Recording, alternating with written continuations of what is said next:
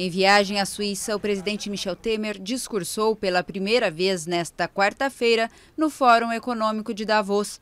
O evento reúne a elite global, não apenas econômica, mas também política, cultural e várias ONGs e ativistas para discutir sobre os problemas do mundo.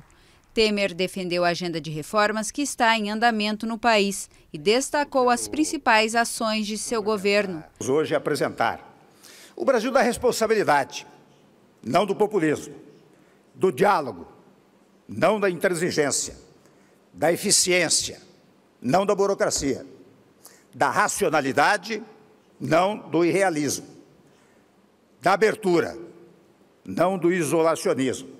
Temer discursou em um tenso momento político para o Brasil, quando o ex-presidente Luiz Inácio Lula da Silva enfrenta um julgamento que pode ameaçar sua candidatura às eleições de outubro. A agenda do fórum para esta quarta-feira incluía a intervenção de vários líderes europeus para defender a globalização frente às posições de Donald Trump, esperado na sexta-feira.